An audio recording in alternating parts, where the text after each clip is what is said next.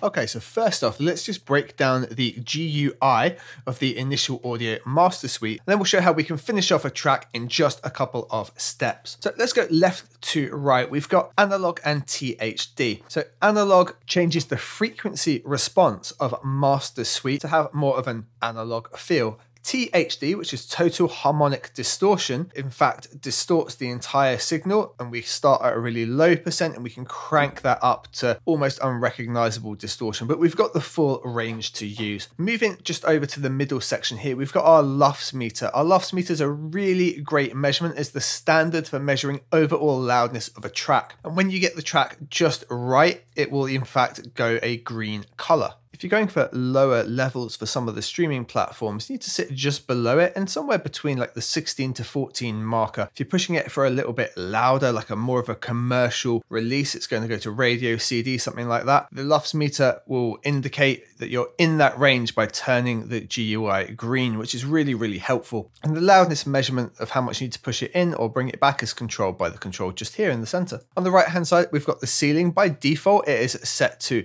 0.1 giving just enough headroom for a good master, but you can gauge it to as far back as minus 3 dB. You shouldn't ever really need to go further back than that. Even the most compressed MP3 would be absolutely fine with around 1 dB of headroom, but you can also put it right the way to zero, but it's always a brick wall limiter right there. Across the bottom section, we've got compression. Now, the compressor is a smart compressor in this case, so it doesn't give you attack and release systems, it is always there and it looks at the audio coming in and compresses it. But you do have the soften ability. This is the same as adding a soft knee in a regular compressor, and we can gauge that in just by controlling it here.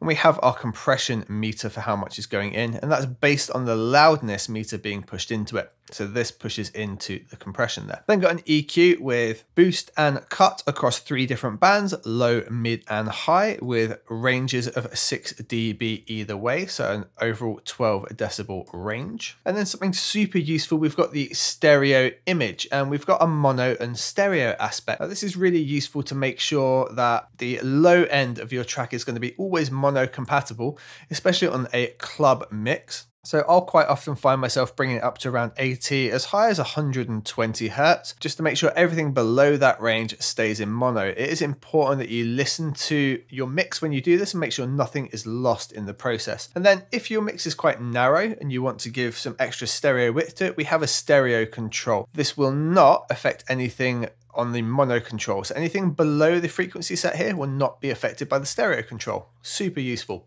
So just using those controls, we can absolutely finish off a track and get it sounding sweet. So let's dive into that. First things first, I'm going to make it a little larger. So in the bottom right corner, we've got these three little tabs and we can drag the display out, make that a little bit larger. And then I'm going to find a relevant bit of our track to listen over. So we want sort of one of the louder sections.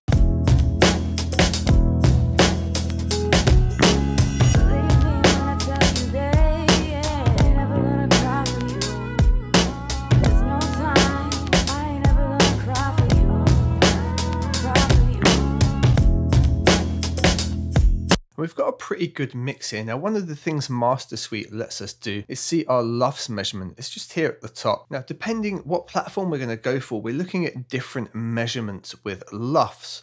And something like Spotify, YouTube, and streaming, we're going to look to be somewhere between minus 16 and minus 14. So here we can definitely add a little bit of loudness. And we can do that with the control just here, and it measures in dB.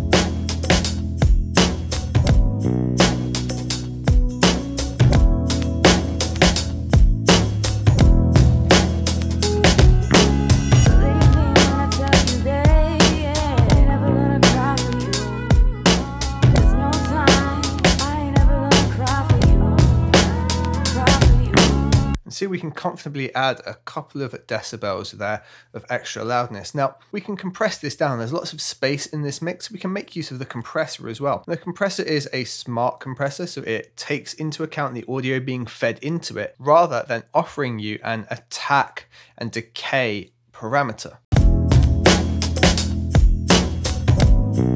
So we can see that so we can see that compression is already happening in the meter here we can choose how mixed in it would be. And we can also soften it off.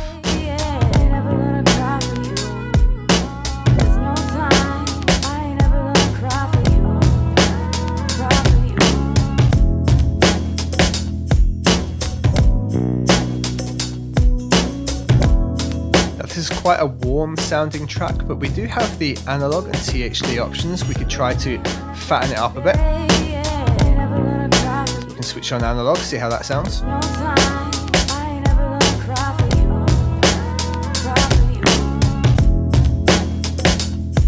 So analog gives us some really sizzling highs. It's kind of nice.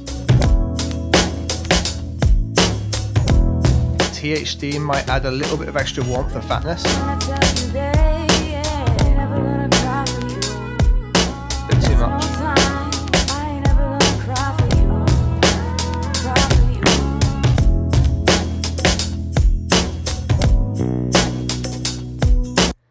It's already quite a nice stereo mix, but just to be sure on the low end, we're going to use the mono control here and bring it to around 100 Hertz, just to make sure that all that low bass is kept nice and mono for the master.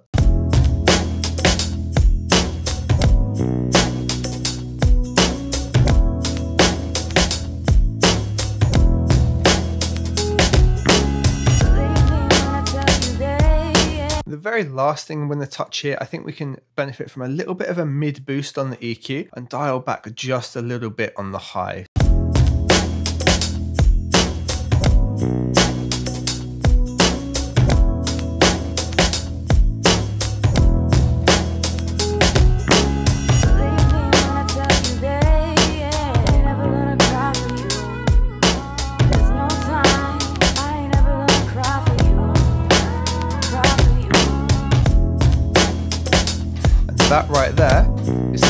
Finishing touches to our beat. Let's A and B it.